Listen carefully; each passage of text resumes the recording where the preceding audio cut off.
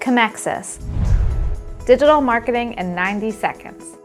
Hi, I'm Matthew McGrorty, and this is Digital Marketing in 90 Seconds. First, a report by London-based agency WARC of more than 500 North American and UK brand marketers estimates the MarTech marketplace currently stands at about 34.3 billion in annual spending. The study found that 85% of marketers use a MarTech tool for email, with a majority using the tools for social and CRM as well.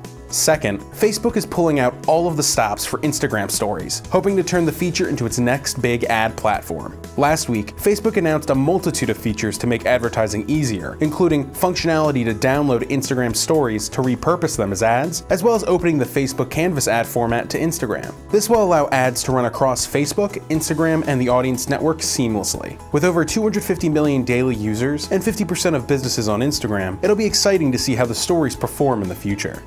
Finally, Adobe wants to be with you in the driver's seat. Adobe announced that it will provide analytics, marketing features, and help automate audio ads, enhanced by the company's artificial intelligence called Sensei, for car brands in the future. How successful Adobe will be in this venture is yet to be seen, but it certainly opens up the doors for the future of advertising.